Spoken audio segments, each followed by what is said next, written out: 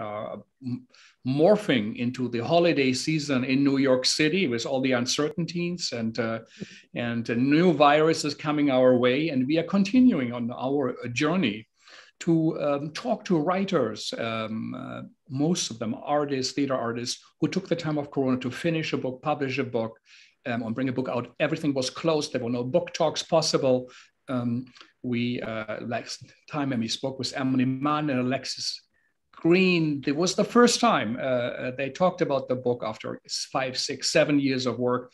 And, um, and today we have uh, with us the wonderful uh, Carey Perloff, Carey, how are you? Wonderful. Are you in a theater? Are you uh, in the backstage? Uh, is it a Hitchcock movie? The fantasy of being in the theater. I'm sitting in, in San Francisco in front of um, I put on my screen the, a photograph of my production of The Homecoming with lighting by Alex Nichols and set design by Daniel Ostling because I thought it would be super supremely creepy uh, as an image to talk about Pinter. So that's Fantastic. where I am. I wish looks, I was in the theater. Yeah, it looks very beautiful, and I just wish I would have been in that room and, uh, and seen the homecoming. Um, that is wonderful. So, um, um, Carey wrote a book and finished a book, and um, the title of the book is Pinter and Stoppard: A Director's View. And why is this book special? Why is it different than others? It's um, a theater director, a highly um, recognized theater director. We will come to your bio a bit later who uh, actually talks uh, from uh, from the garden, from the front, from the traveling she did. so it's not what often we do, and for good reasons, coming out of a university, academic theoretical um, reflections, which we feel are very significant and very important. Um, but uh, as much as often practitioners uh, discredit uh, the work of academics, academics or universities do not pay enough attention um, to what artists have to say and what they are saying. And sometimes uh, I just uh, read that quote, quote, you have to, to listen to hear. I think the great owner of CBGB said that. That's what his mom said. That's why he let the punk bands in.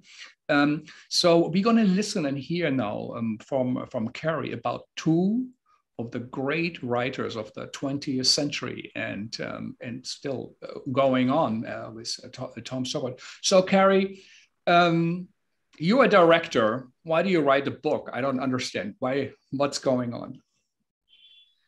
Uh, well, you know, I, I, as I said, I picked this little section to read in the beginning, which I can read for you if you want, because yeah. um, you know, I started at the day of the lockdown. I thought I'm a theater artist, and now there's no theater. There's nothing live anywhere.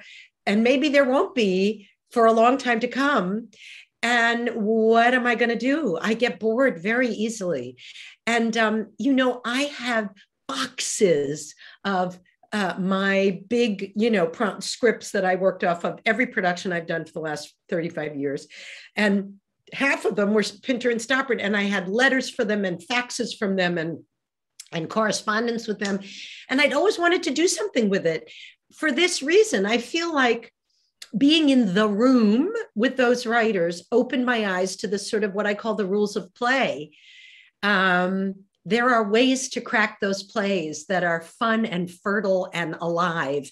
And there are questions to ask that are not useful that I learned over the course of many years. Like, don't go down that blind alley because it's not going to get you anywhere with these plays.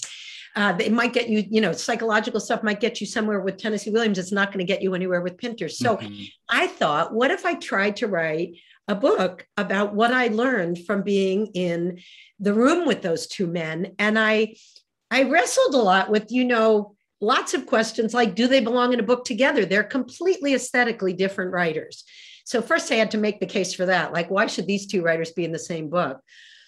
And then, um, and you know, these days when you write a book, you have to write a book proposal to get it published, and you have to fill in every detail like, what will the reader be able to do after he or she has read the book? Like you could build a bookshelf. And I thought, well, maybe the reader will have access to some of the greatest theatrical writing ever and not feel intimidated by it.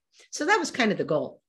Fantastic. And I think it's a great book. It's an intense, detailed engagement over decades um, with playwrights and um, also a model in a way, you know, to give playwrights a home in a theater um, with the director um, as a sounding board also.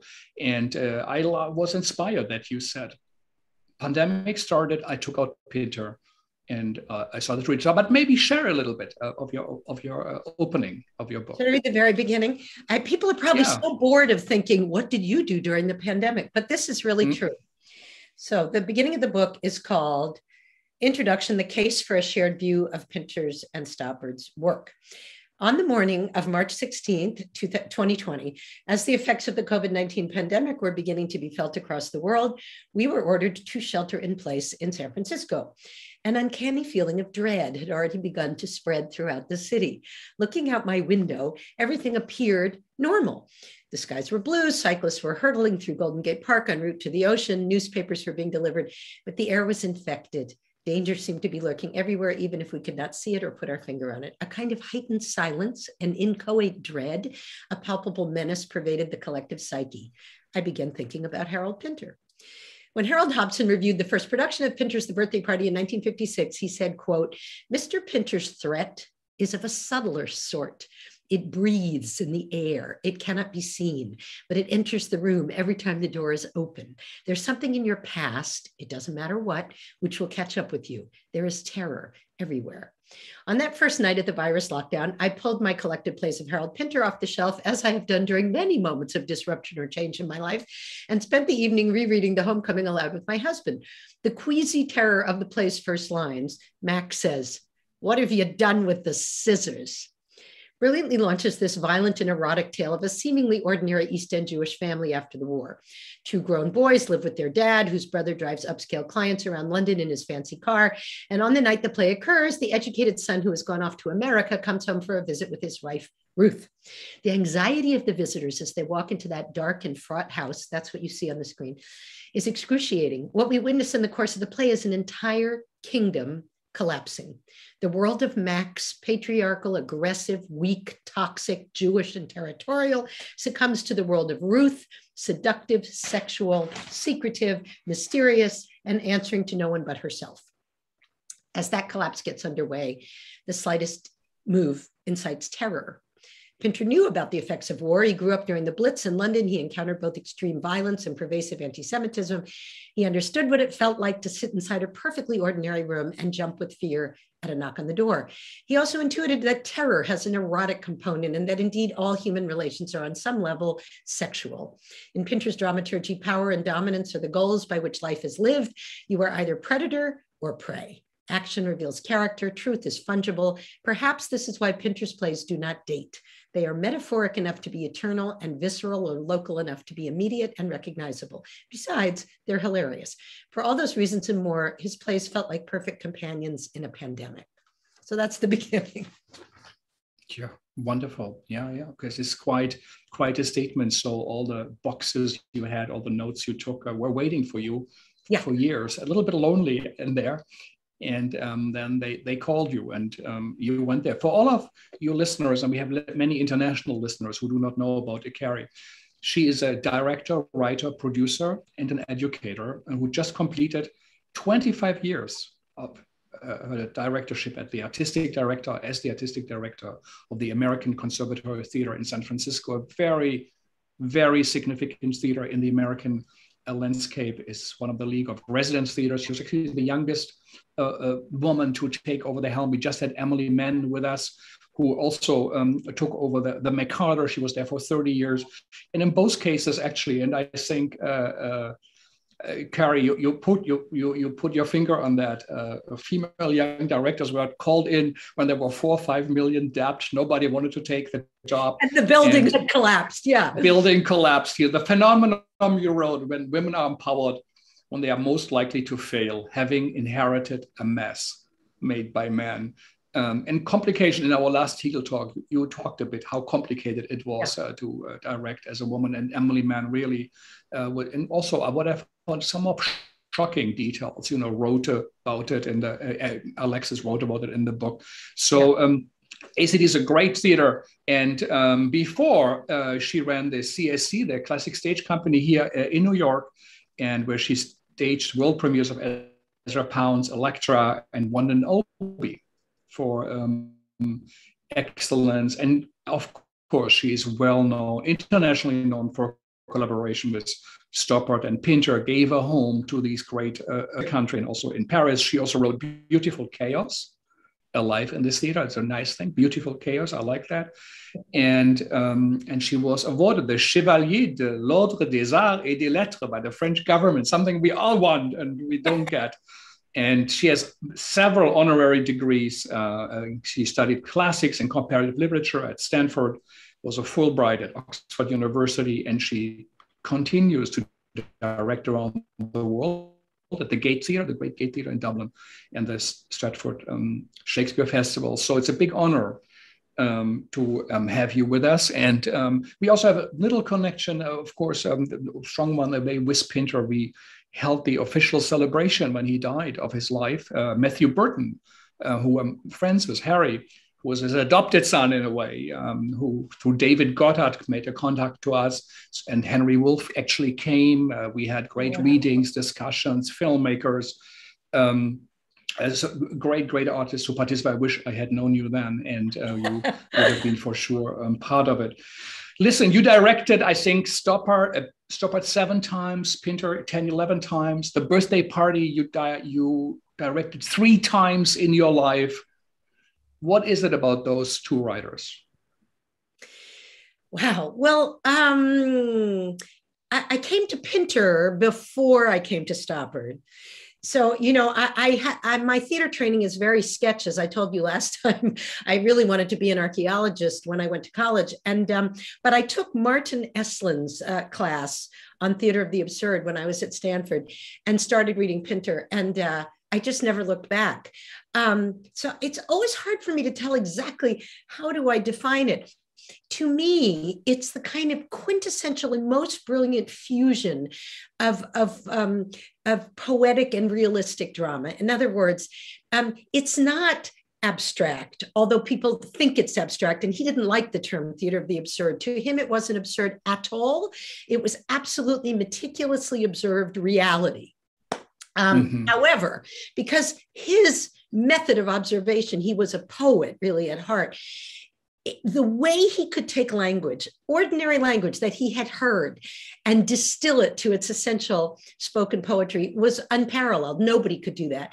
Um, I also think, and this is the chapter I, I, I, shared with you all, I think intuitively, when I first read Pinter, um, I partly felt drawn to it because he was a Central European Jew, really. And that's my family background. My mother's a Viennese refugee. And there was something about the world of it that I understood. He is a kind of a classic modernist. You know, as a, as a kid in the Blitz in London, he was reading Kafka, and he's the first person really to discover Beckett. He took Beckett's novels out of the library in Hackney and never gave them back. He still has the same copy that he had. He understood Beckett's prose in a way that people didn't seem to at the time. So he felt uh, immediate to me and familiar. And the other thing is, he's catnip for a director because he leaves it's so specific, but it's also so spare. And it means every move count. I love minimalism, but you know, it's not cluttered up, it's not literal. So it's like choreography. And I think because I love dance so much and I've done a lot of dance in my life, that also felt familiar to me and sort of um, delicious. And so, you know, I fell in love with Pinter very, very young in my, you know, in my early 20s. Stoppard came to me later, oddly. Um, I hadn't worked on Stoppard in New York. I mean, I'd followed the plays, I'd seen the plays. And yet, when I came to ACT, one of the first things I wanted to do was Arcadia. Uh, mm-hmm. ACT already had a great history with, with Tom, so I didn't invent that. He already knew ACT, and they wouldn't give me the rights to Arcadia because it was being done at Lincoln Center which always enraged me you know that that that new york theaters could hold up the rights for the rest of the country i thought was deeply unfair. And so i wrote him a letter and i can't remember how it got to him. Somebody i knew knew him. It, it might have been through pinter's agent. Anyway he wrote me back immediately this wonderful letter and we started this incredible epistolary correspondence and uh, I love letter writing and he loved letter writing. So we sort of bonded. And then my husband is English. And so when we were in England, we met, Tom and I, at the National Theater. And again, all I can say is he walked in that building. I looked at him and I thought, oh, I know you. Like he just felt like kin. And I don't feel this way with most English playwrights. So I, I that's what made me think it was partly their Central European Jewish background. You know, I've never wanted to work on David Hare or, or that group of kind of the WASP British playwrights never spoke to me or Osborne mm-hmm. or whatever. So it uh, those are the two playwrights that from that moment on became the sort of lodestars of my theatrical practice and spent time in the rehearsal room with me hmm. which was incredible. Um, tell us a bit, how did it feel to be in the rehearsal room with the writers, something often directors try to avoid? you know, there are some playwrights that are a nightmare in rehearsal because they want to control they you know if in the script it says you know he stands here then they it, it, has to happen the way they want and it's also very hard for some playwrights to understand that the rehearsal process is iterative right? It's like a scientific experiment. Every day is different. Anne bogart writes so beautifully about this in her book. You know every day is an event. It's not going to lead to the conclusion of the play early on. So you need a playwright sitting there who understands the process, who isn't going to panic when the actor doesn't get it instantly. And what was so spectacular about having Pinter and Stoppard in the room is that they are consummate men of the theater. Do you know what I mean? They didn't look upon their text, which is amazing because they were such meticulous writers, as final products to be achieved. They they they completely understood, you know, the process. So I worked with Pinter in the room when I was very young it came about in a very strange way, which I'll tell you, Frank. I had done, I really wanted to do the birthday party at CSC. And I fought and fought and fought to get the rights. And Judy Daish, his agent, didn't want to give us the rights. It hadn't been revived since its first production. And she apparently felt that American productions were too psychological and boring and that they wouldn't be funny. And I kept saying to her, No, I'm married to a Brit and I, I get the irony and I understand the humor and I'll cast it well. And anyway, that took forever. And we finally did this production. And he sent his friend, Betty Bacall, to see it. And she loved it. and she said to Harold, Oh, it's great. You should come see it. So when I was in London, I had lunch with him which was the beginning of many, many lunches that I had with Pinter in mm London, because he loved lunch. And lunch was a long affair and it had a lot of white wine and many, many things got talked about. And at in that lunch, he said to me, I've written this new play. It's called Mountain Language. It's only 20 minutes. What would you think about doing it on a double bill with the birthday party? Which was kind of fascinating because it turned out that mm-hmm. the cast requirements were the same. Now, the birthday party doesn't need a curtain raiser, but I thought how fascinating because they're both, in a way, plays about terror and um, uh, violence and predatory behavior, but in a very different key. So we did that. And he said, if you do that, I'll come and work with you. So he came to New York and we spent a great deal of time in the room together, like three weeks and mostly we worked on the birthday party not mountain language which was amazing because the birthday party was you know 30 years old by then. It's not like he hadn't done it a million times. And here's what was so incredible. He he loved every moment of solving the problem at hand. He talks about theatrical facts. What are the facts?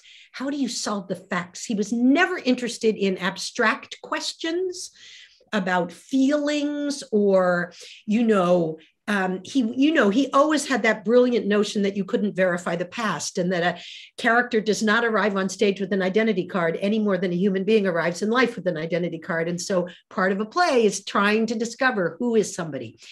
But he loved, um, I write a whole chapter in my book about props Mm-hmm. because mm-hmm. a Pinter play is like a magic trick. And you, you, call them epiphanic props, yes. which is an interesting. I had to look it up, you know, to make sure the magical power of props, like a Joseph Cornell box, seemingly ordinary objects that contain some kind of a luminosity by virtue of their precise arrangement and placement. So tell us a bit about that. Well, you know, um, he was an actor, right? Pinter was an actor for many, many years. And one of the actors he most admired was Donald Wolfit, who uh, played a memorable Lear and other things. And he had this whip, for instance, that he used when he did Oedipus at Colonus that, that Pinter thought was fascinating. So, and he'd been in a lot of Agatha Christie. So he completely understood that a very seemingly ordinary prop can be the source of terror if you detonate it right. And the reason I called them epiphanic props, like, like Joyce's epiphany, is let us say in the birthday party, Stanley, that poor ex artist, concert pianist who's hiding out upstairs in the bedsit, he wears these spectacles. And when he's being tortured in the game in Act Two, McCann, the Irish thug, takes the spectacles and snaps them. And I'm looking at your spectacle and thinking, if you did that right now, they wouldn't break. They don't mm-hmm. actually do that.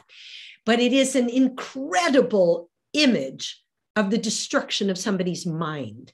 And you know, as Beckett said about Joyce, it is not about the thing, it is the thing itself the actions in Pinter are not about it, it is the action of breaking somebody's psyche. So it has to snap. But the problem is, glasses don't really do that. So we had to figure out how do we make that moment work? And it was hard to do. And one day, David Strathairn, who was playing Stanley, came in early. He sawed the bridge of the glasses in half. He drilled a hole in both sides. He stuck a toothpick in, glued the whole thing back together, didn't tell us what he'd done. And in the middle of rehearsal, when Richard Riehle, who was playing McCann, grabbed the glasses, and snapped them, you heard that toothpick snap. And we all sort of jumped out of our seats and thought, that's it. And every moment in Pinter is like that when McCann tears the newspapers into strips. It's like flaying somebody. You know, he had an uncanny ability to find the exact action that would resonate and tell you uh, the internal uh, violence that was being done. But it's a very ordinary gesture. It's a guy shredding a newspaper. So, what Pinter loved was pursuing those theatrical facts, those details, those absolutely precise moments of choreography or encounter or conflict. He looked at his characters as real people. So if you asked him a question, he'd stop and think as if someone else had written the play. And then he'd give an answer like we said, why does Meg spend the whole beginning of the play asking Petey to read her the newspaper? You know, what does that tell you about their marriage? And I was thinking, you know, is she lonely? Are they alienated? Is this a woman who'd lost a child in the war? I had a lot of psychological things in my mind. And he paused for a long time. And then he said, I believe she has forgotten how to read.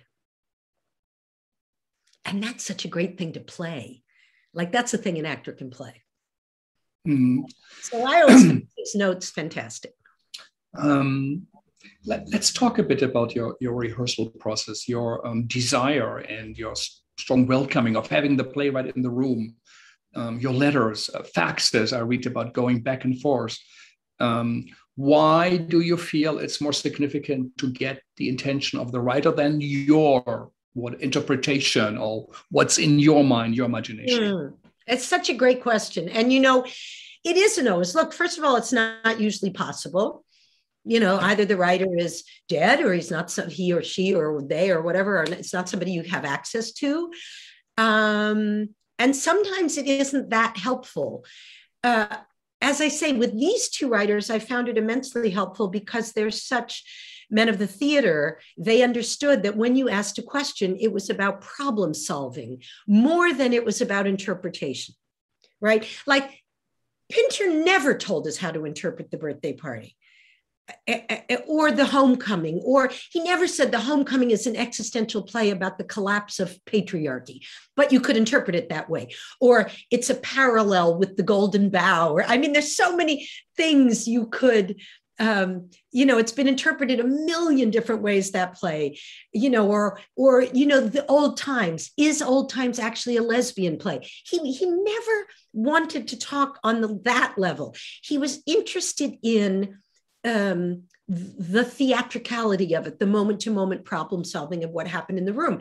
That's when it's useful to have the playwright. With Stoppard, um, Stoppard is, was, is not an actor and not primarily a director. So his answers to things were often um, more complicated, a little more intellectual, but also um, incredibly helpful. Where I found Stoppard so brilliant and invaluable in the room was he has an ineffable sense of language.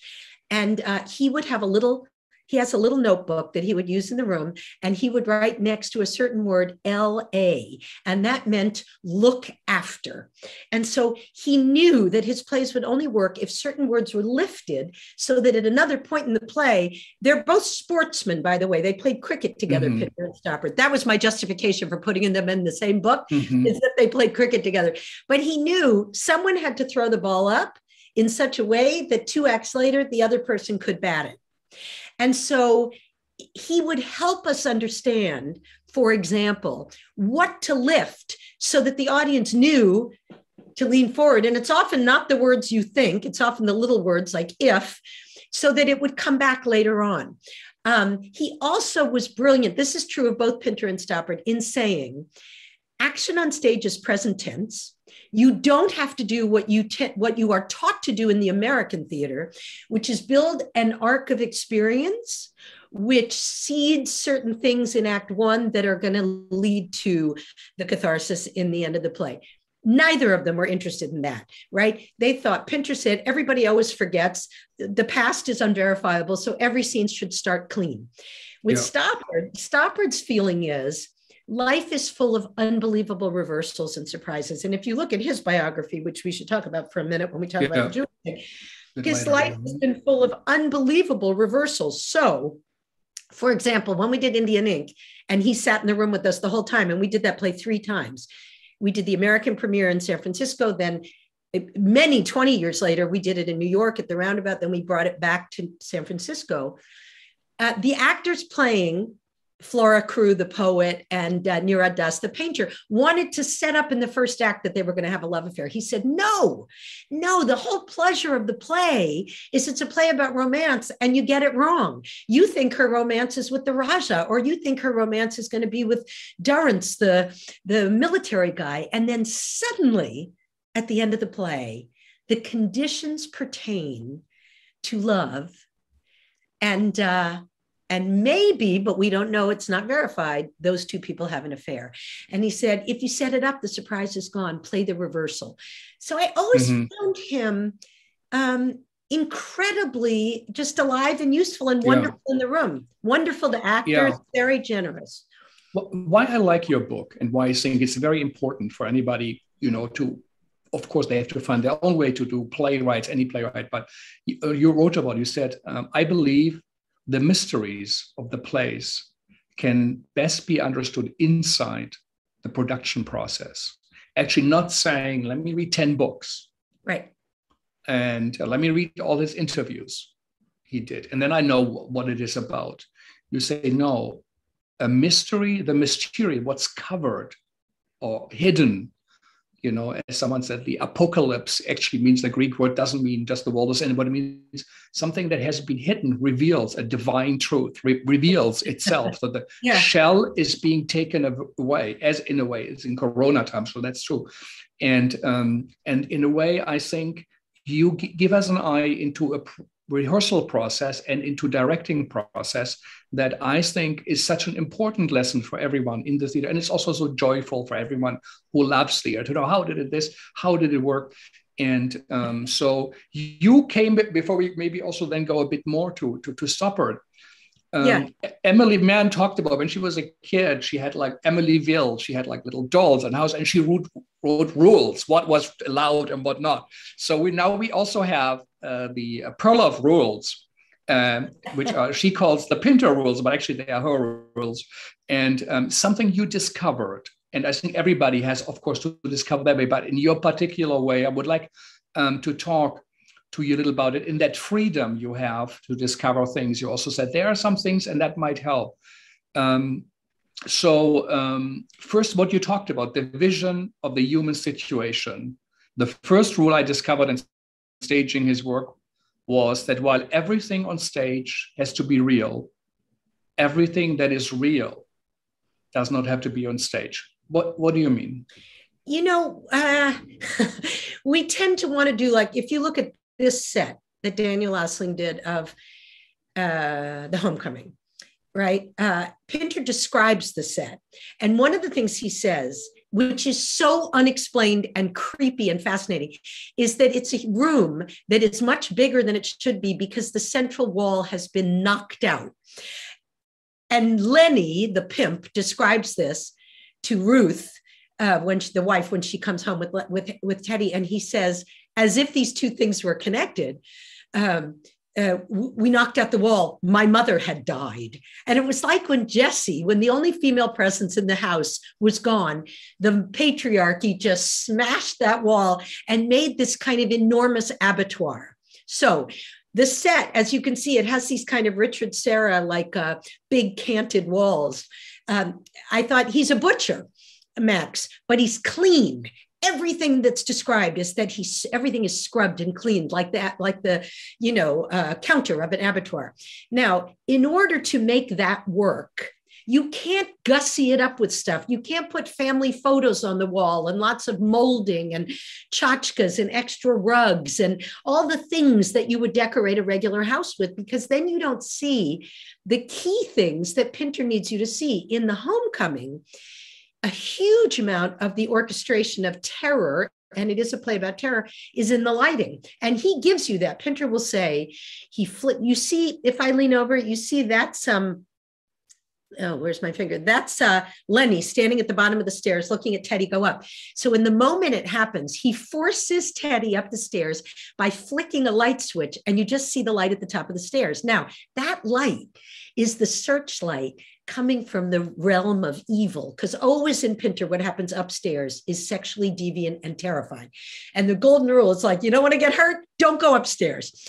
And so the light is very controlled. The light that's down there by that uh, throne that's max's throne. And in the end of the play Ruth is sitting on the throne with that light next to it. That's also the light where the glass of water is going to be, where she kind of emasculates uh, Teddy. So these things are like altars. That's why I said it's like a Joseph Cornell box. They're like sacred items and they have to shine, they have to pop like the cornflakes box in the birthday party. So if you want the cornflakes box, to really loom large, then it has to be alone in the space that's all. You even say they should almost look like alien objects, right? Or uh... well, yes. And the first woman who wrote about the tour of the birthday party when they did it in I don't know '68 or something, she said they had to carry that box of cornflakes with them when they went on tour because people in other countries didn't know what it was.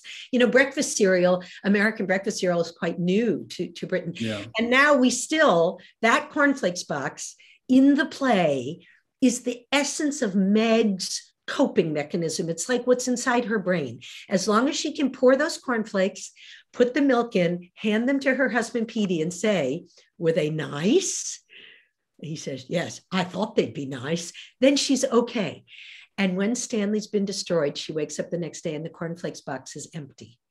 And that's how you know Stanley's dead. So, you know, Pinter pays very close attention to those kinds of details. Um, Stoppard also loves loves theatrical tricks, and and his plays are really hard to design, really hard because magic happens, and you have to sort of figure out how do you do it live on stage. How does the train arrive in um, you know in Indian Ink at while at the same time an old woman in England is opening a letter and reading about the train arriving. So with Tom, his plays are about uh, time travel. They usually take place in multiple places at the same time and at multiple time frames, unlike Pinter, which is absolutely unity of time and place always. Mm-hmm. So, so designing a Stoppard play is an incredible puzzle. And he loves that process and loves you to reinvent something or think of an idea that he never had. That's partly what I loved about having Stoppard in rehearsal is how, how much he loved designers, how respectful he was of the other artists, always. Mm-hmm.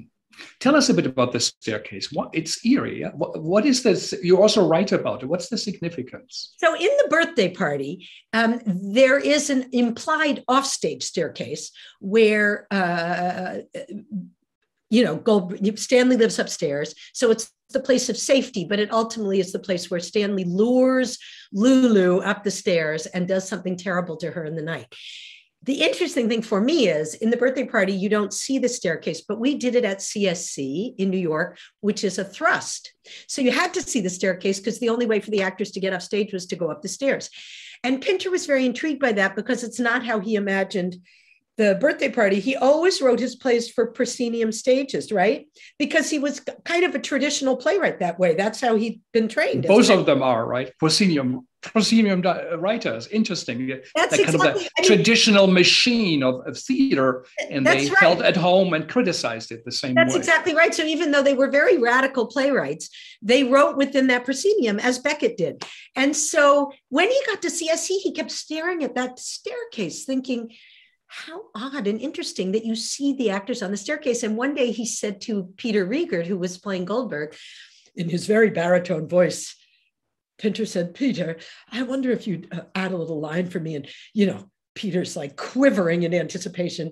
And Pinter says, uh, would you stop on the stairs with, with Jean Stapleton, who was playing Meg behind you, turn around, survey the room, and say, what a lovely flight of stairs. So he was interested in that. Now, by the time you get to the homecoming, he has internalized that evil staircase. We expanded it by making it, I think we had 25 steps. So look, if I move over. Yeah, yeah. I mean, it's unbelievable that staircase. It's like a Hitchcock staircase. Yeah. It is a Hitchcock staircase. Now, one of the challenges for me of doing Pinter at the Geary, which is the theater I ran at ACT, is it was a thousand seats. It's a big proscenium. Pinter plays tend to be very compressed and quite intimate. So you have to figure out a way to hold on to the tension of a Pinter play, the compression, the detail, the specificity within that big space. And so doing those canted walls and that um, really extensive, terrifying staircase helped us do that.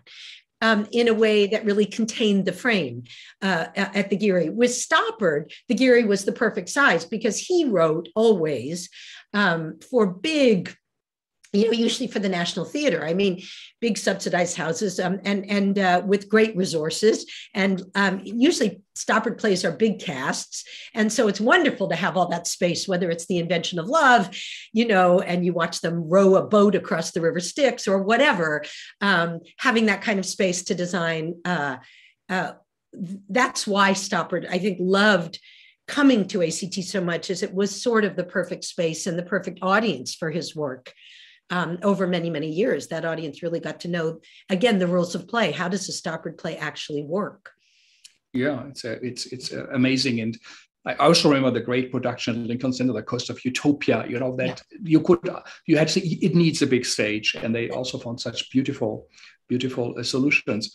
Um, what I like about the book and about your work also is, in a way, it's a search for truth. You want to know what does what did he mean, what was in his mind, what is it about? You know, as you say, this thing is this thing, which is a big thing because often say the hand that points to the moon is actually not the moon, right? It's yeah, just yeah. the hand that points to it. And we, we forget that sometimes, even in academia, often because we point to things or others. Yeah, um, and I think um, uh, this is uh, quite remarkable, and also as a lesson for anyone in theater that the, that the mystery is in the staircase. It's in a box of cereal it's on the sound of glasses breaking, but it's actually not a glass, it's a toothpick.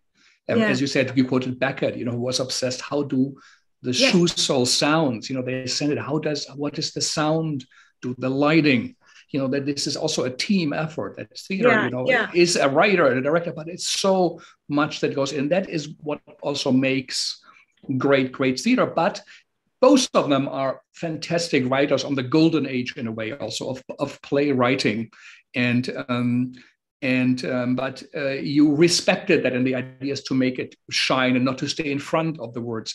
Your your second uh, pinter rule or the uh, Perloff rule the pp rule maybe it was pinter Perloff rule um, you said this brings me to a second epiphany i had working with pinter in the rehearsal.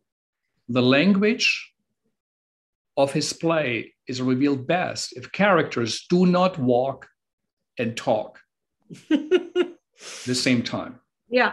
What about that? Because um, language in Pinter is a weapon. You know, uh, one of the things for Americans that's uh, mysterious often, this is a cliche, but I think it's true, about the British is that we Americans tend to use the English language in a quite a transparent way. We are a confessional culture. We believe in therapy. we believe in speaking and you'll be absolved. The British use language as a smokescreen. They are a deflective culture. Uh, they are not as interested in confession. And, and for Pinter, language is um, always, it does many different things, but it doesn't reveal. It can, it can tease, it can be ironic, it can hide, it can attack but it is a tool. It is an active tool. I think, and I'm going to segue here just because I think it's connected. This goes to Pinter's background as a Jewish boy in the Blitz. He lived through the worst of the war. He was sent away to the countryside, which is very funny to me because he hated nature. Pinter, you never see nature in his plays, even out the window, except in No Man's Land, where there's a dead body floating in the lake. So nature is not beautiful and appealing to him. He was urban. He comes back. He refuses to stay outside London during the Blitz, and he comes back and lives through the worst of the bombing. And then he lives through the worst of anti Semitism after the war, incredible violence. So he has these amazing. And fascism, presence of fascism, actually. Total right? presence of fascism. And the mm. knock on the door to him was clearly the Gestapo. It's not abstract. He knew what that was. So he has an amazing description, for instance, of getting caught in an alleyway and having to talk his way out by saying, Are you all right? Everybody all right? We're going to be all right. We're going to walk through. So, language is a kind of Morse code. And all I meant about not walking and talking at the same time is it's not a casual thing where an actor kind of does what Stanislavski would call a secondary action, where you are chatting about something. And while you're doing that, you walk over and look at the window. Because it's so spare, if you look at this set, let's say you're sitting on that throne, that's Max's chair. If you if you have two people sitting across from each other in Pinter, and one person stands up, the whole ozone of the room changes. That's a power grab. So you want that action to read in the biggest way possible. So it can't be casual, it can't be sloppy, it can't be half done. It has to be well lit. And it doesn't help that it's done at the same time as somebody's talking.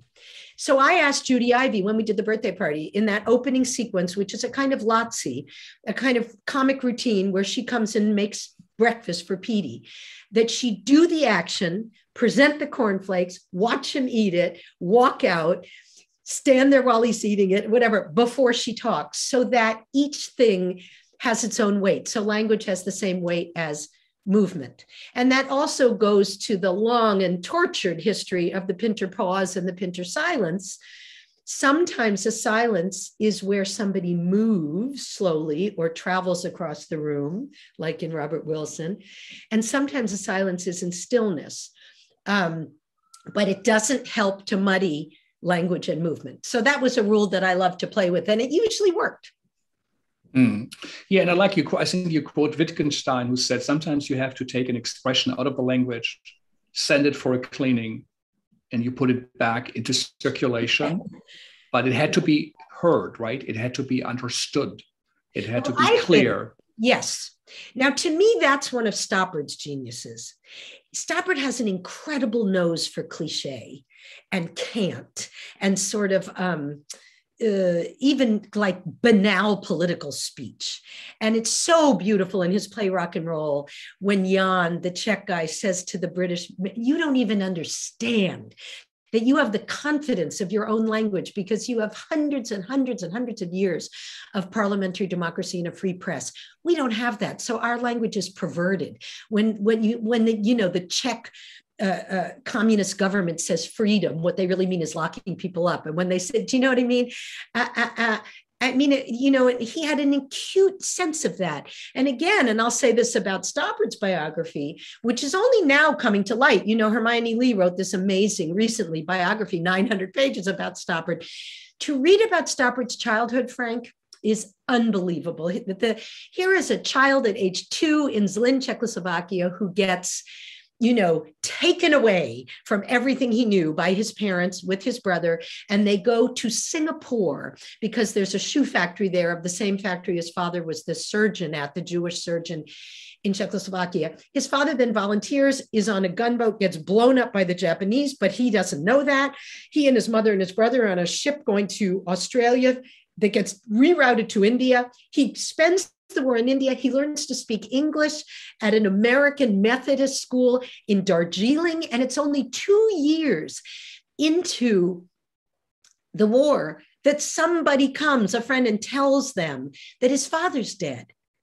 Now, imagine so this thing about dislocation and about not knowing what's going to happen not writing a play where the characters know about their past or know what the future is going to bring is completely tied to his biography. So although i know one has to be careful about making those connections i do think reading every letter and everything you can get your hands on about a playwright's background is immeasurably useful reading all their other plays. And in the case of Pinter and Stoppard, knowing the details of that Jewish background and the war trauma is immensely useful. You then get to his first play, Rosencrantz and Guildenstern, and Guildenstern says this thing to the player king. He says, No, no, no. I'm paraphrasing, but you know, that's not, you can't stab and roll around on the ground, and death is not blood and destruction and murder and everything. Death is a character walking off stage and never coming back. Now you see him, now you don't, which was his father. And to me, all of, of Stoppard's work is about that sense of loss, trying to make sense of who he is. The plays all have these dual personalities, divided selves, which he absolutely was. Tomasz Straussler, the Jew from Czechoslovakia, Tom Stoppard, the perfect British playwright that divide itself and the loss of culture, which you hear in Arcadia, you hear in Invention of Love, over and over again, like the burning of the books, the sense that a culture's been lost, that people have been murdered, that you have to hold on to art because art is the only thing that's going to keep civilization alive, which goes back to your thing about about language. And i think it's why they were both so cynical about didactic plays and political speech being something that ultimately has to be punctured because it's so cliched. Not a popular stance right now, but I think ultimately an important one. Yeah, but I think also your book um, is, is a reminder um, of, of the importance and significance of writing for the theater of plays and words which of course in some way it is the dominant uh, uh, uh, structure in the commercial american theater so nothing new in that sense but still in that kind of contemporary theater and also wrestling with themes we are working now you know often perhaps um, it's um, uh, more time spent on lighting movement uh, perhaps things it's written fast and words perhaps um, have a little yes. bit casual the, the use of it and it and that's right p- plays might be better you know and this is what we up to as you would say magicians um, yeah. of, of of writing imagining and um, since it and still you know saying the word itself is not it but you discover it actually in the rehearsal process and then yes. when it really exists and the big question does a mozart sonata exist if it's written down in a library at the morgan or does it exist when you hear it? Yeah. And Tom, you know, you know Stoppard mm-hmm. has always said he thinks plays are a blueprint for production. So one of the things that's very, very different about Pinter and Stoppard is, except for that one line, I never saw Pinter change even a pause in his plays. But Stoppard, with me, you know, all the years we've worked together, has often rewritten yeah, you said there are like three versions of the birthday party, right? They all. Uh... I mean, Stoppard will give you a bespoke uh, production. Like we, he rewrote the end of Indian Ink 20 years after he published it. Didn't bother him at all that the published edition then didn't match what we did. I'm sure it makes Faber tear their hair out that he constantly does this. Mm-hmm. But he thinks, what's the difference? You know, it's a living document. Um, and so we felt that the end of Indian Ink should tie up in a way, the wonderful personal story of Flora and Nirad Das and the sister, the sort of love stories in the play, rather than end on a voiceover. And so I remember sitting in his kitchen in London before we did it the second time, and he would just rework it. He made cuts, he rewrote it, he re. It was quite remarkable. Um, often, I mean, he was completely willing to do that and think about that. And and um, well, we did it with the hard problem because I felt that no one would know that the financial crash was taking place. And he adamantly didn't want a slide that said 2008 on the screen. So we had to figure out what clue could we give the audience in San Francisco that the financial crash had happened. And, and he couldn't figure it out till he was sitting in rehearsal. And then mm. suddenly he said, Oh, I know exactly what it is. And he solved it. So, uh, and he loved that, you know? Um, and so, uh, uh, uh and yet the language is um, luminous like a magic trick. And I think about that great, great speech in The Real Thing, where Henry is being asked by his lover, Annie, to adapt this really terrible play by a political activist whom she's kind of working with. And he says, I can't do it. It's just bad writing. And she's so snarky about it. And she says, Oh, you're so arrogant. You just think you write well because you're a writer.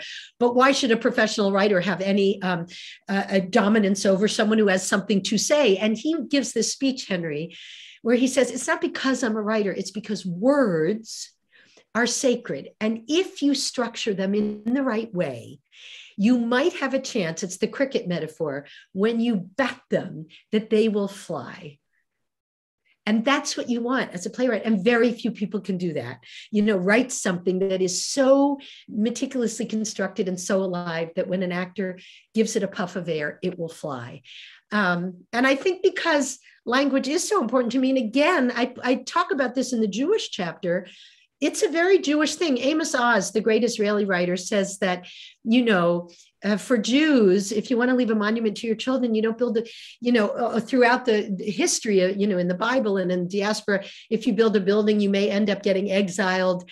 You know, if you build a house, you may end up losing it. But if you write a book, um, it will carry with you, right? That language is the thing that carries, and also that Jewish Talmudic sense of argument, which is kind of what drives Stoppard. It's so hilarious. His plays are always dialectics, and he gives the characters who he doesn't agree with the best arguments, you know, because mm-hmm. argument matters, because dialectic matters, because language matters. And I think mm-hmm. for me, that's why his plays are so moving. And I know people think often they're too clever by half, that they're brittle. And maybe they are, but I feel that you have to play what's at stake and that language is the thing that saves the characters in the play. So they're not just trying to be clever, they're trying to survive. Language is also how you seduce someone, it's erotic. That's why Tom Stoppard is the sexiest man in England, and everybody's always said that, you know. So language is not dry and brittle to him, it's very much a living thing. Yeah, yeah, that is quite quite insightful and um, and uh, yeah one wonders of how Stoppard if he looks at the movie I think he got the Oscar right for Shakespeare in Love he can't rewrite it right that's it it's done and in but he never you know movies for him movies, not, mm. they're jobs movies are jobs he does to make money so he can make plays I don't think he ever felt precious he you know it wasn't even his mm-hmm. screenplay. He wrote it with Marc Norman. It's a fabulous screenplay. But yeah. no, I don't think he felt precious about movies that way to yeah, something very very very different specific. It's yeah. just for theater and that that magic um, if you say if something you know you does work if it's done right it's also healing healing yes. the world. Let's come to another um, uh, pinter Perloff rule a pp um, which i think is also an important one. It says here's another rule of play which provided helpful in cracking open difficulties on difficult scenes um, like the Lulu Goldberg encounter. Unlike with more naturalistic plays, it's not generally useful for actors in Pinter to attempt to find a single spine or try to make each scene line up for a sim- single axis. I mean, you touched on it before, but I really would like you to talk about this. I wasn't aware of that. That what do you mean? Well, I I uh, I just pulled out in his brilliant book, uh, uh, this collection, um, Harold Pinter, various voices. He he he wrote this speech uh, once, and he said something that stayed with me forever. He says, Apart from any other consideration, we are faced with the immense difficulty, if not the impossibility, of verifying the past. I don't mean merely years ago, but yesterday, this morning. What took place? What was the nature of what took place? What happened? If one can speak of the difficulty of knowing what in fact took place yesterday, one can, I think, treat the present in the same way. What is happening now? We won't know until tomorrow or in six months' time, and we won't know then. We'll have forgotten, or our imagination will have attributed quite false characteristics to today a moment is sucked away and distorted, often even at the time of its birth. So, what that said to me is every moment has to be absolutely visceral and real in its playing. Then it's over. When a character walks back on stage later, do they remember what happened? Well, each one will remember it in a totally different way, depending on how it hit them, right? On how it struck them. When Meg brings Goldberg and Petey into the house, it's a terrifying moment where these two killers come. But for Meg, it's thrilling. She finally can make some money. They flirt with her. They're delighted. Uh, you know, um, when the birthday party itself happens, which is an, an incredible carnage and destruction, she doesn't remember the next morning that something terrible happened. She thought it was wonderful. Stanley knows he's been destroyed. So everybody's reality is different, and you have to play your reality as an as a character, but um, you also have to see what's happening in the present moment. And so I found it very liberating that you're not burdened with carrying something forward all the time um, that weighs down the next scene, right? That in a way, each scene is like a boxing, you know, it's like the bell goes off and then the boxing match starts. And so you have to let that boxing match, that round of the boxing match start clean. You don't think, oh, I was injured before, I have to come in injured. You try to come in fresh. It's mm. why the plays are so exhausting to perform. And with Pinter and Stoppard, I always found the rehearsals just drained the actors because every moment counted. You know, they were like being in a sports match. Yeah. Mm. So if I understand right, you you say each scene then that starts new is completely new. There is no psychological character arc in a Stanislavskian sense. Something carries over. Say, this is a new round. It's a new you round. Know? It's yeah. in your own completely as an actor. Invent that. Be part. Be present. And um, it's it's an interesting radical uh, a concept actually yeah. um, um, for but it actually, to think about it. You know? It comes from improvisation. So P- Peter Riegert mm-hmm. did, brilliantly did the Goldberg uh, in, in, my birthday party, and then did many other plays for me, and did Celebration, which is the play I write about that we did at 9/11, when yeah. I thought you know, that Pinter was going to be with us for this big celebration of his work. Um, uh, and we were doing the room and celebration together the american premiere of celebration and his with his first play the room and then came 9-11 and he couldn't he didn't come because he was so antipathetic to american foreign policy and wrote this beautiful letter which by the way i wasn't allowed to publish because you can't publish pinter's letters which is very sad oh. um, but um, again, Riegert was in that. And what Riegert always said is just remember the rules of improv. You walk on the stage, here are the rules of the game, and you have to say yes. And then if an actor starts doing something different, you have to respond to it and do something different yourself. And that's what keeps it so alive. So it's game playing. Um, and of course, games are central to Pinter and Stoppard, right? The British love games.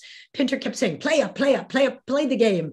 You know, that's what that's what uh, Goldberg says. And it's true in Stoppard that they loved puzzles and games and Stoppard would set up for himself a game in every play. So, like the real thing, the game is you see a scene between a husband and wife uh, called House of Cards that looks like a marriage is ending. And then in the next scene, you see another scene and you realize that's the scene with the playwright who wrote the scene before and that the scene before is a play within a play so with stoppard you always have to figure out before you do the plays what's the game how do you set up the game and how do you play the game? That's why you can't carry a lot of baggage with you because in a game, all that matters is the hand you're playing now right? You can't play the hand you played before. You can't play the chess move you played before. You have to move now. And then let the audience, of course, the audience is so important in Pinter and Stoppard because the audience will put together all the things that have happened and they will make their own narrative Do you see what I mean? And yeah, that's why yeah. they're such generous plays because they include the audience in the game. And when you watch a Pinter play or a Stoppard play, you are part of the solving of the puzzle. You are not passive watchers of television realism. You are absolutely theatrically in the center of the game. And you watch each of these events and then you put it together. So you get to the end, you know, of a play like Indian ink and you think, did she sleep with Nirad Das? What is what which is the painting? What is that painting really about? That nude. You get to put it together. The same thing with Arcadia, you know, it's a thriller. It's it's it's totally theatrical, and you get to put it together. Um, you are not obligated to carry with you some burden of false psychology. Mm-hmm. On the mm-hmm. other hand, I will say, and I have a whole chapter about rock and roll of this 10 page fax that, that Stoppard sent me. And Stoppard did say I could reprint all his letters and faxes, so I do print some of them. There I is one in it, one fax is in it. There's yeah. a long fax because I got terribly stuck on a scene between um, the Marxist critic Max and his sort of um, protege Jan, the Czech um, student in rock and roll who brings him back his Stasi file after um, after uh, Havel has taken over in, in uh, Czechoslovakia, and um, and it's and it's a scene where I didn't understand what was happening emotionally at all. You know, uh, the the the uh, file is delivered, and Max is incredibly hostile to Jan, and I thought, why is he behaving that way? He should be grateful to get the file back so he doesn't get into trouble. And i kept asking tom and and we agonized about it and he wrote me endless things and said that trevor nunn had had the same problem and blah blah blah. In the end after 12 pages of facts tom said one thing. He said and i could tell he was frustrated because the ink was all smudged and he he was frustrated you know crossing things out. And he said i hate writing about analyzing max but I loved writing him. And then he said, I, I don't know how to explain it other than to say, I suppose he was a broken man from childhood. And of course, right away, I thought, ah, I have been trying to parse it on the wrong level. I've been trying to understand the sort of surface level of argument. And really, the truth is, the argument belies something completely different, which is what Tom said that I have to accept the fact that this is a broken man. His wife has just died of cancer, the wife he adored. He uh, doesn't know how to express himself in any way. He sees this young man who's like his adoptive son. He feels betrayed by him. And so he behaves irrationally. And I think irrationality is a key to Tom Stoppard. People think because Tom is so brilliant and so articulate and can speak in the most complicated, arcane, full sentences about everything from chaos theory to, to artificial intelligence to the poetry of Byron to um, uh, uh, Indian painting, that people think he's so rational. But in fact, what's so moving about Tom is that underneath it lies the irrational. He's always in love. Um, and that comes through in his plays. Love is always the thing in a Stoppard play that will upset the apple cart and, and make something that looks like it's going one direction suddenly make a left turn and go in another direction. And that you have to trust that as much as you trust the surface of the language. And that was a great lesson to learn and a mm-hmm. gift from having the playwright um, as part, not only part of the process, but so generous. That's what I felt about both of them. And I do want to say that, Frank, because you know people think of these two writers as these great titans and also you know pinter has been written about as being so cantankerous and difficult and he was um, in many circumstances but i do want to say i never found that in rehearsal i never found them to be anything other than forensically excited about the work at hand and totally respectful of the process. And the fact that I was a woman and very young was not something that they used against me in any way. In any way. And that was unusual. I worked with a lot of famous American male playwrights who treated me terribly, but that just wasn't the case. And in fact, when readers read my uh, for Bloomsbury read the book in galleys, they said, Well, we think she's too kind to Pinter uh, that she's giving him a pass. And I said, look, that was my experience. I don't mean to be Pollyannish, but he was um, nothing but respectful. Um, mm-hmm. Never treated me uh, with disdain. because I was younger, because I was a woman, it just didn't come up. We were two theatrical adventurers trying to solve theatrical problems. That's what it was. And that's why it was such a pleasure to work with them. Yeah, amazing. I remember Elyse Dodgson, who was whom we worked from the Royal Court, the National Playwright Program. She was many times at the Segal. She said when she would bring in young, unknown writers from all over the world, Pinter would come and yes. place, and not to say let me support it. He was interested. What was yeah. in their mind? Always. You know, Always. What, what is up? So um, I, I like that. I think this is an important point that the word play contains playing and um, yes, and that you said you know it's a puzzle, it's a game, it's a play. You know, be part of it. It's something fun. I'm talking about. I think Björk did this beautiful uh, edition. Um, um, of an her, her, LP, which she Biophilia, I think it was called on an iPad. Oh, yeah, yeah. And you could, and you could, she said, you could also play her music. She did like 11 little video kind of plays, and you could compose yeah. your own. She said, This is what I like, but do your own, you know. So, yeah, and you can do it. But I give you some rules. And I think your, your uh, um, importance of saying to react to a scene like in our life, you know, we, there or big ideas people have. You know, there's the over, but you're in a moment. You have to react to the scene. Who are the actors? Yeah. And you yeah. are in the moment, and you have to have to do that. I think this is um, um really uh, significant. And we won't talk too much about the Pinter pause and silence. We have been talked about, but I, another one I found interesting of your rules. You said um, further rules of play: masking and forgetting. Yeah. Um, I came to find in working on Pinter, my years on directing Greek tragedies were useful. Greek drama was, of course, masked. Mm. Yeah. So I, I, learned this from Peter Hall. Peter Hall wrote what I think is sort of the definitive essay on early on. It's just called Directing Pinter. And it was how he went about it. And I thought it was, I quoted a lot. I thought it was really revelatory. And he said, um, obviously, early on, you have to be in rehearsal, open to the actors really playing what they're feeling. Like Teddy coming home to his father's house is terrified and angry, and you know, and and uh, Ruth is lascivious and and predatory, whatever. But then, by about the third week of rehearsal, all of that has to get masked because if you in Pinter, and it's true in Stoppard too, if you betray too much of what you want or what you're scared of, you will leave yourself open to incredible attack. One of the people who writes brilliantly about this is Austin Quigley, one of the great crit- critics on Pinter. In the Pinter problem, he always writes about that a Pinter character doesn't exist except in relation to another character. So it's always relational. So one is predator and one is prey. And if you are prey and you reveal that you are scared or you show where your weak spot is, you, the predator will be on you in a heartbeat. So you have to mask it. So in the Lulu scene in the birthday party, she's just been probably raped upstairs. Some terrible thing has happened to her. And she has to come down and give this insane speech where she says, it's full of Hallmark greeting card cliches. You know, you used me for a night, a passing fancy. You made use of your cunning when my defenses were down.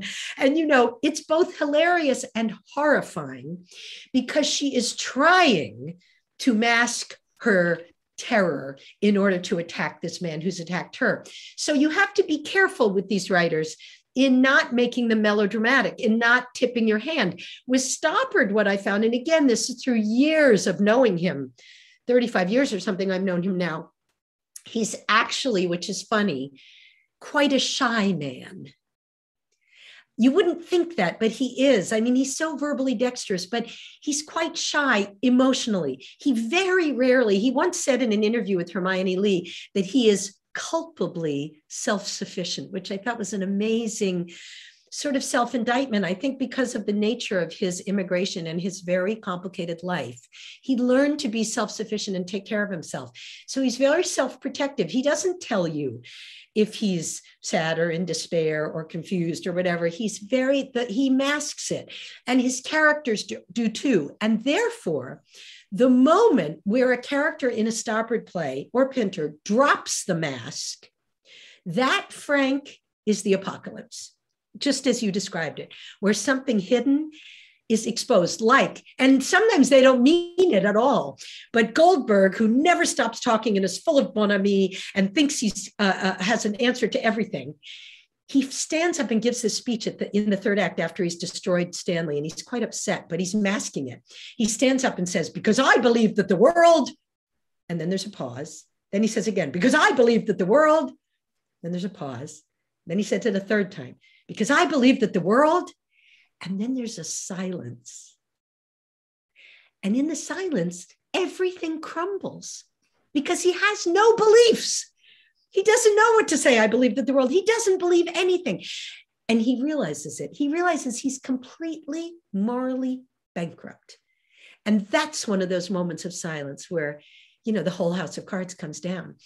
In Stoppard, you see it at a moment where a character who has been, you know, very contained or very masked or very uh, well behaved suddenly drops the mask and erupts like Nirad Das, the painter, about something that's a non sequitur or seems like a non sequitur. And you think, why is this character yelling at this moment? But you realize that suddenly he can't hold on to it anymore and he's totally vulnerable and it erupts and it erupts.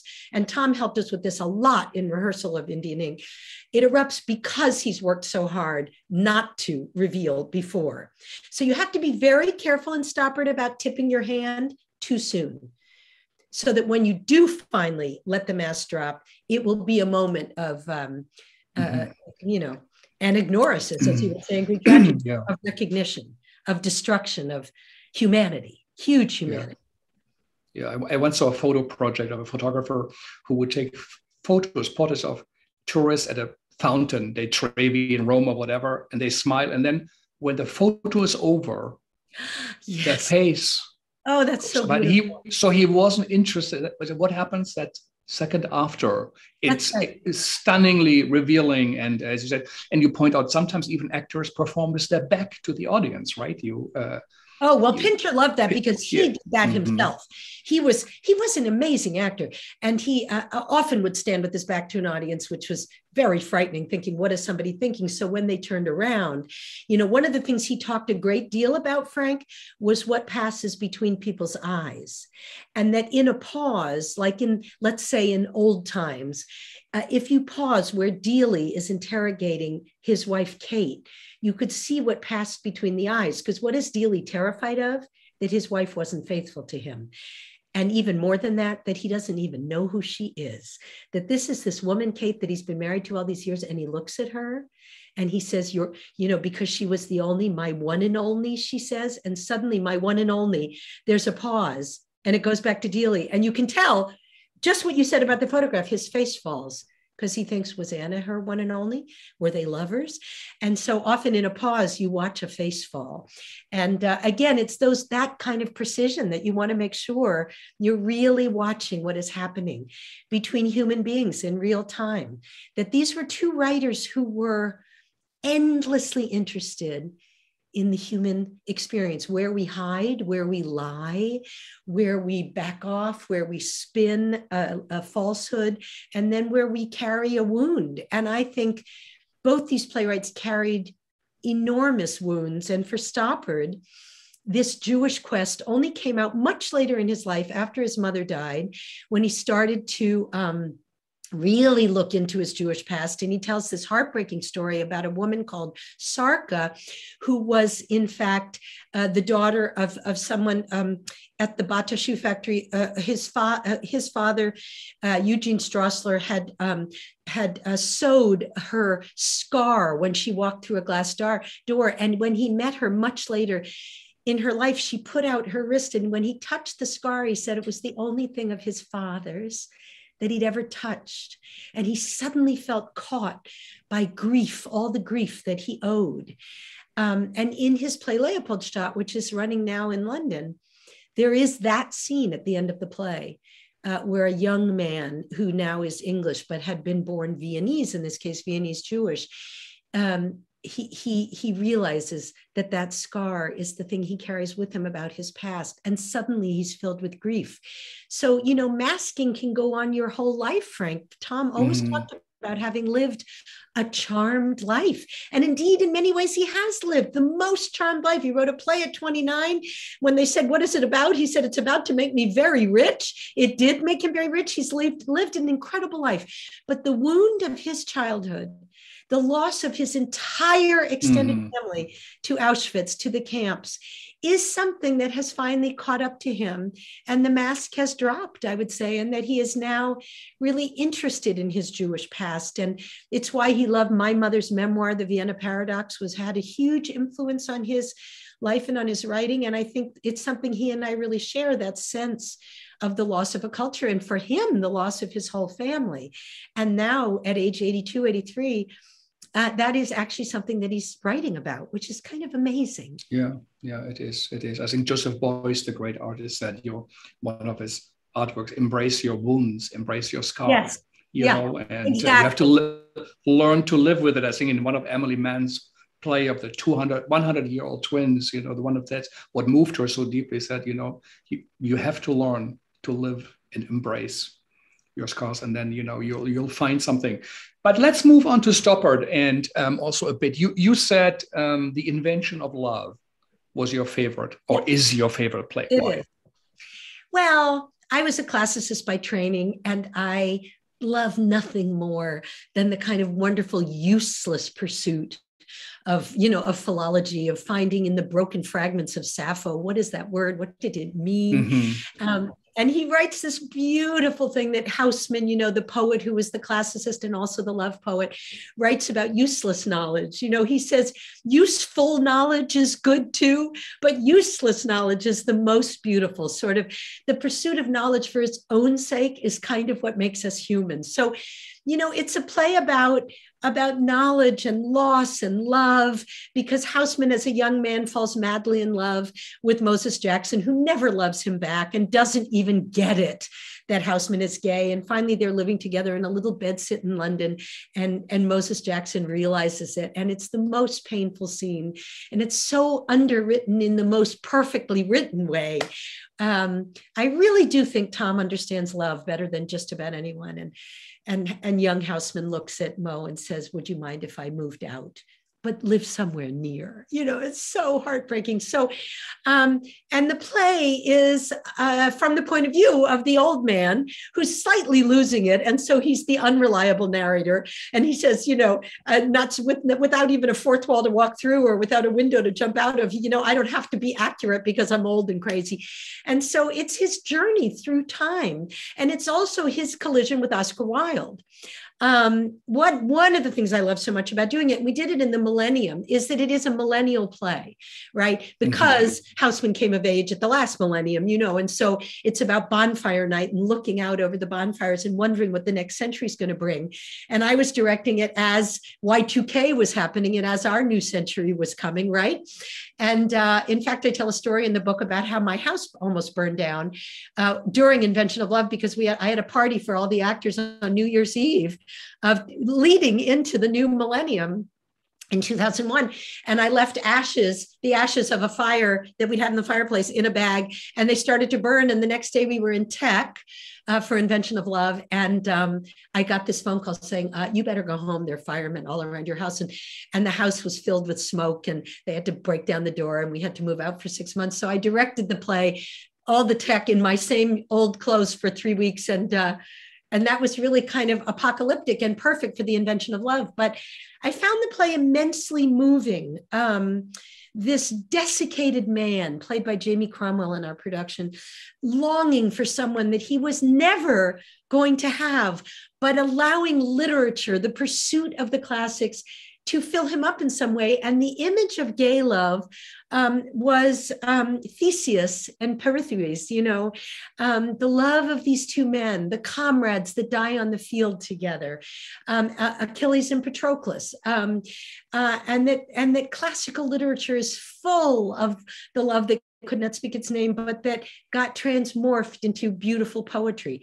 And it's also this argument between Housman and Oscar Wilde about what's more important living the life, burning the flame, and dying for it, as Wilde did, or living a completely repressed, desiccated, uninteresting life, but but writing the love and the poetry. And um, an interesting side note of that play is that Tom Stoppard and Daniel Mendelsohn got into this real fight um, in the New York Review of Books because Mendelsohn accused Tom of um, of siding with the wrong character in the play and of kind of giving short shrift to Housman's life. And Tom said to him, You've misread the play entirely. Just because I give Oscar Wilde great arguments doesn't mean I'm on his side. I found, he said, I found Housman's reticence and um, uh, uh, um, kind of uh, wound much more moving than I found Oscar Wilde's explosion of, of, of sort of self-indulged, um, self-indulgent uh, uh, narcissism. And um, so that really moved me. Um, it was a fabulous adventure to work on that play. I had an acting company, so I could use my whole company. Steven Anthony Jones, is great. It's a big play, yeah it's a company play. He played Charon. Marco Barricelli, one of my favorite actors in the world, he played Oscar Wilde. And Marco, who is fearless, who played, you know, Richard III in front of 2,000 people at, at, at, Ashland and was never scared, almost threw up before every performance of Invention of Love because he had to sing a little bit of, of uh, patience, you know, of Gilbert and Sullivan as Oscar Wilde, and he wasn't a singer. Um, and I do want to say one thing about that acting companies to me are the most beautiful important thing. We have yeah talk about it a little bit. You say lost, you, you, believe in ensembles right? You i believe in, in ensembles with all my heart whether it's a jazz ensemble a ballet ensemble a modern dance ensemble or an acting ensemble. But we don't believe in it anymore in the american theater. And i do know that the reason tom stoppard loved loved loved coming back to act is he loved our company. So when he knew marco was going to play oscar wilde do you know? Or when he knew anthony fusco was going to play the lead in Night and Day, playing Carson, who's kind of a desiccated character or that Steve Jones indeed was going to play the African dictator, he wasn't worried ever that that René Augesen would play Ruth, and then she would play um, Annie in The Real Thing, and then she would play, you know, um, whatever. That, uh, that all of them, Gregory Wallace got to play Tristan Tzara in Travesties because he was in our company. Um, where else in America at that time would you have seen a black yeah. actor playing Tristan Tzara? But that was our company. It was multicultural, multi everything, multi generational gay, straight, but those were great actors and they worked with Tom and me over many, many years. And so when he came, he always knew that they would know the rules of play. They knew uh, what Tom loved, which was clarity of utterance. That's what he always talked about. Um, just as Pinter knew that those actors would hold the stage. I tell lots of stories. I tell a story about, which I won't repeat here, but of Marco meeting Pinter and Stoppard in London and how much he loved that. But I think for both those actors, for both those writers, you know, Pinter had been in an acting company in Ireland, a Shakespeare company over many years. He knew what the transformative power of acting was, and that if you had really wonderful theater actors, not movie stars, theater actors who could transform. You could do, let us say, celebration set in an upscale in the at the Ivy or something in London, and then switch and do the room, or it was actually in the opposite order, which was in a working class bed set, and those actors could transform, and that taught an audience what the nature of acting was and they loved that because they revered that that, that imagination that theatricality um, and so you know i, I mean I, I think in a way it's the essence of trying to cast a Pinter play or a Stoppard play. One of the things I learned, again, the sports metaphor, is in a way, every actor, particularly in Pinter, has to be a leading man because they're going to come up to bat. And when they come up to bat, even if they only come up to bat once, like Petey at the end of the birthday party, they have to knock that ball home. And so you need uh, remarkable actors, even in the really small roles. So for me, Invention of Love was a celebration of company, and it was a celebration of the new millennium. You know, it was um, it was sort of putting on stage everything I believed about theater and language and history and why we need to in some way be tied to our own histories at the same time that we need to look to the future. Um, sappho you know love poetry all of those things. Um, and it was a celebration of by then a long-term collaboration uh, uh, with stoppard. And you know to open the new millennium with him in the room with this acting company um, you know that was really moving to me it was a very melancholy play, but I also I thought really a play about hope. Yeah. yeah, and I think you really did uh, create meaning uh, of our lives. Uh, the meaning, what does theater mean? What does directing mean? What does acting mean? Yeah, uh, what does writing for the theater mean? So I think it really um, helps us, and art should do that. You know, to understand where we come from, where yeah. we are, where we are going to. I think you you uh, often uh, in in the book say this is when Obama um, got elected. And this is when Bush came in. This is when 9/11 happened. This is the beginning mm. of the financial. This is the other one. And I think you you uh, uh, you you quote Ralph Emanuel, uh, Obama staff chief of staff, where you say a, tri- a crisis is a terrible thing to waste, and um, and that you know there is a deep connection also you know in a way to to the to the present political um, uh, reality. I know T- Stoppard himself, you know, was so deeply engaged for the uh, Free Theater of Belarus, for the Czech, oh, for Havel. Um, he engaged more and more and saw a connection. Um, how do you see? How do you see theater and arts and politics? You know, I mean, we live in the zeitgeist, right? And so my feeling is always it's least interesting when art talks directly about a certain political moment because it's too literal and journalism does it better. But but every artist lives in the zeitgeist of the moment in which they find themselves. And so and so you can't help but this is why I, I love greek tragedy right? Because if you think about sophocles let's say he was writing about the crisis of war imperialism immigration gender justice everything he was they were wrestling with in fifth century athens but setting it in a mythic past. So it was metaphoric. That to me is where theater is great.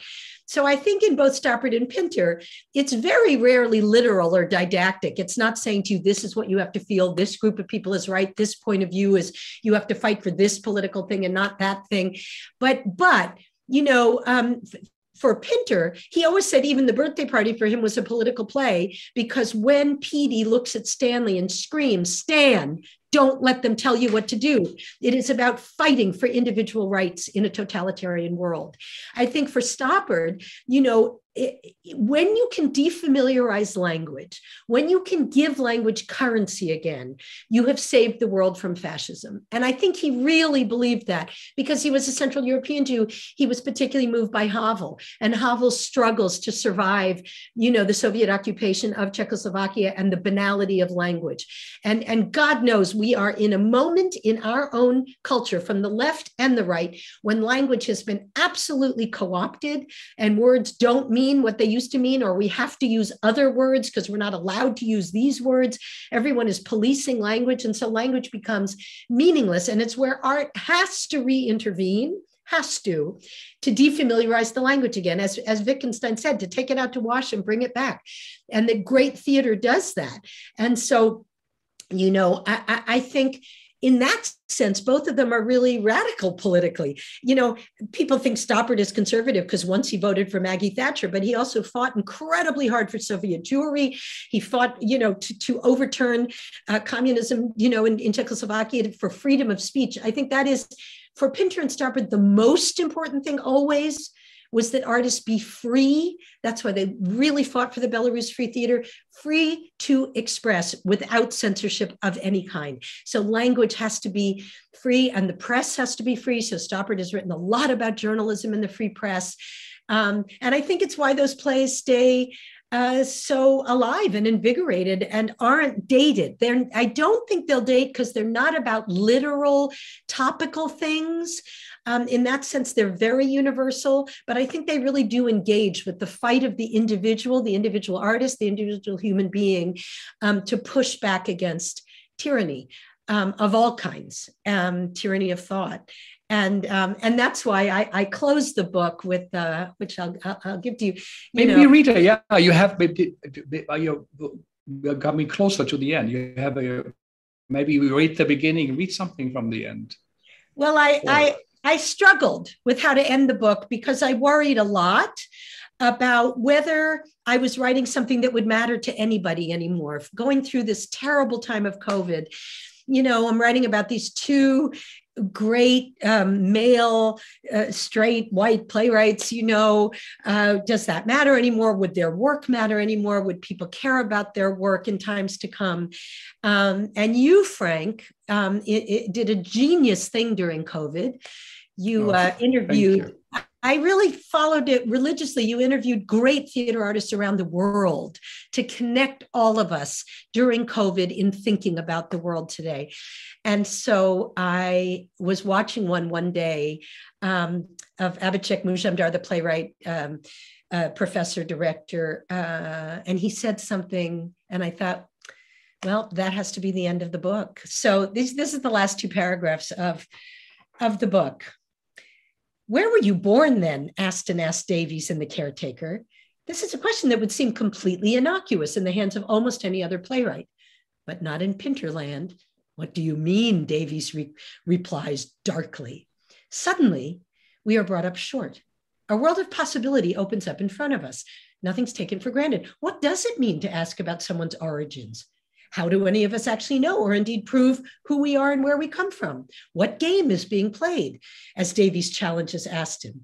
These questions can be analyzed forever, but their theatrical power is best discovered in the rehearsal room in real time as actors experiment, iterate, and expose what's lurking underneath. After all, only an actor could insert, as does the player in Rosencrantz and Guildenstern are dead, I extract significance from melodrama, a significance which it does not, in fact, contain. But occasionally, from out of this matter, there escapes a thin beam of light that, seen at the right angle, can crack the shell of mortality. End quote. I love that quote. If the most profound questions a play can ask are Who am I and how did I get here? It is no surprise that two playwrights with such complex and shifting identities felt so completely at home in a comic existential universe in which nothing is a given and everything is possible.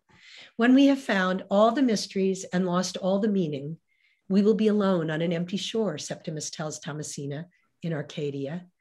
Then we will dance, she replies. It is my belief that Pinter's and Stoppard's work will keep dancing far into the future. As I was completing this book, musing from the isolation of my pandemic lockdown about what significance these plays might have in our post theatrical lives, I chanced to hear a comment by the noted Indian professor, playwright, director Abhishek Majumdar. He confided to Frank Hentschker in a recorded interview that, quote, I don't think I would have survived the deaths in India during the pandemic if I hadn't simultaneously been reading Tom Stoppard's The Coast of Utopia, end quote. Majumdar went on to explain that surrounded by anxiety, disease, and governmental abdication throughout India, he had found deep comfort in the aesthetic and humanist arguments of literary critic Belinsky, one of Stoppard's finest creations. Quote, I'm losing my health and making enemies all over the shop, exclaims the struggling Belinsky in part one of The Coast of Utopia, because I believe literature alone can, even now, redeem our honor. Even now, in words alone that have ducked and dodged their way past the censor, literature can be, become, can, at which point he runs out of breath and self confidence for a moment before resuming art has the right to be useless, an end in itself for its own sake. It only has to be true, not true to the facts, not true to appearances, but true to the inmost, innermost doll, where genius and nature are the same stuff. That's what makes an artist moral, end quote. And then I just end by saying it seemed so fitting to me that those passionate and sputtering words put by Tom Stoppard into the mouth of an idealistic Russian critic in the 1830s could save a contemporary Indian artist from despair during a global pandemic in the 21st century. What more could a playwright ask for? It's true. Incredible. What a quote. And yes, and I remember that also desperation in, in that talk was Abhishek. And then uh, also that hope that you know he was hanging on to and he said i remember he said i'm going to have to call i have 140 calls still to make this night when after that um, that call and um, and our HowlRound from India um, and came out of that. Listen, um, th- thank you, uh, Carey. That really was a um, tour de force of a director's view on Stoppard and um, uh, on on Pinter in, over Pinterland and Stoppardland and for everybody who loves theater, for everybody who watches theater, everybody also wants to direct. It's quite quite a book full of little jewels, a little uh, a bookcase, um, a little uh, jewelry box that um, Carey put together, and also it's lived experience. She recorded, she researched it from her note. And um, how how long did you work on that book? How long did it take you? It Besides your life of directing I mean, it took me the year of COVID.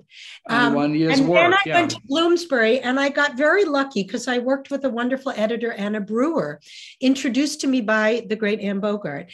And Anna said to me, make sure you include your own life because uh, just what you said uh, uh, about the political framework, one exists as an artist in time. And so much of my experience with Pinter and Stoppard was connected to my own life from when my daughter Lexi was born. And I tell a story in the book about her being a 10 day old baby in rehearsal with Pinter and uh, how he used her um, at a certain moment as a prop in a rehearsal in order to generate feeling from an actor. Um, all the way to the point where my son Nick, who's a musician, sat in the back of the room at, of the Geary with Tom Stoppard during the hard problem. And, and uh, he created the whole sound score for it um, uh, with Tom on his headphones.